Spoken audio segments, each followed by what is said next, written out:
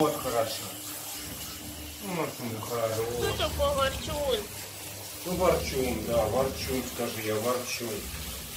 Лежал, дремал, позвали мыться. Вот ты же сам пришел. Ты заметил, как он сам пришел?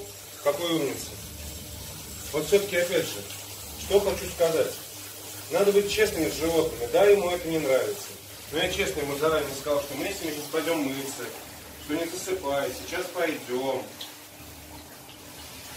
І він пішов. И он пошел, да. Просто площадок мы с тобой все пыльные, не мылись уже больше месяца. Уже пора-пора. Самому же неприятно себя вылезать, правда? Правда? Ну, такой шикарный хвост, но такой грязный. Так же нельзя. Да? Я постараюсь побыстрее.